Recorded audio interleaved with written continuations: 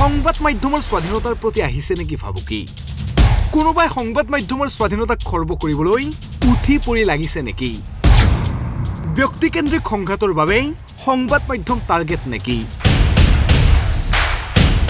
শেহতীয়াকৈ সাম্প্ৰতিক সময়ত অধিক সক্ৰিয় হৈছে নিষিদ্ধ ঘোষিত সংগঠন আলফা স্বাধীন। প্ৰায় প্ৰতিদিনে আলফা স্বাধীনলৈ থাপনি মেলিছে ৰাজ্যৰ বহু যুৱক যুৱতীয়ে যাক লৈ এতিয়া অধিক শংকিত হৈ পৰিছে ভাৰত চৰকাৰৰ চোৰাংচোৱাৰ লগতে ৰাজ্যৰ আৰক্ষী প্ৰশাসন। অতি শেহতীয়াকৈ আলফাই এন জি চি আৰু অইলক টাৰ্গেট কৰি লোৱা বুলি খবৰ ওলাইছে। খবৰ অনুসৰি হয়তো মোটা অংকৰ ধন বিচাৰিব পাৰে এন জি চি আৰু অইল কৰ্তৃপক্ষক।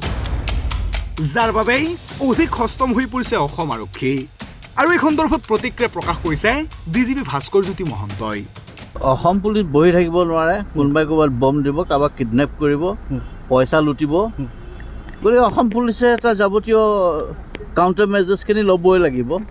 ৰাইজে সেইটো বিচাৰে। আৰু আমি ল'ম ষ্ট্ৰংকৈ ল'ম। আনপিনে মঙলবাৰৰ দিনটোত সংবাদমেল পাতেই তথাকথিত এ পি ডাব্লিউ নামৰ এটা সংগঠনে নিষিদ্ধ সংগঠনৰ মন্তব্য বা সাক্ষাৎকাৰ সংবাদ মাধ্যমত প্ৰচাৰ নকৰিবলৈ উচ্চ ন্যায়ালয়ত আবেদন কৰিম বুলিও মন্তব্য কৰিছিল। আমি এটা নতুনকৈ চিন্তা কৰিছোঁ। আমি গুৱাহাটী হাইকোৰ্টত এখন পি আইল কৰিম। আহ, কথা পাতি আছোঁ আমি। কোনো বেণ্ড অৰ্গেনাইজেশ্যনৰ ইণ্টাৰভিউ যাতে কোনো মিডিয়া হাউচে যাতে ল'ব নোৱাৰে সেইটো কাৰণে আমি এটা গুৱাহাটীত গুৱাহাটী হাইকোৰ্টত পি আইল এটা কৰিব। ছ'চিয়েল মিডিয়া সি কিতাপ লিখা হওক টিভিৰ ইণ্টাৰভিউ এইবিলাক চব চৰকাৰে বন্ধ কৰিব লাগিব যদি অসমত সঁচা শান্তি বিচাৰে। আৰু সংবাদ মাধ্যমৰ স্বাধীনতাৰ ওপৰত প্ৰশ্ন অহা এ পি ডাব্লিউৰ মন্তব্যৰ পিছতেই সাংবাদিকৰ প্ৰশ্নৰ উত্তৰত D G P Bhaskar Jyoti মহন্তৰ প্ৰতিক্ৰিয়া। সংবাদ মাধ্যমৰ স্বাধীনতাৰ ক্ষেত্ৰত হঠাতে সিদ্ধান্ত ল'ব নোৱাৰি। কিছুমান কথা হেৰিয়ত থাকে স্পেচিয়েলি প্ৰেছৰ ফ্ৰীডমৰ ইছ্যুটোৰ ক্ষেত্ৰত আমি হঠাতে এটা ডিচিশ্যন লৈ নলওঁ।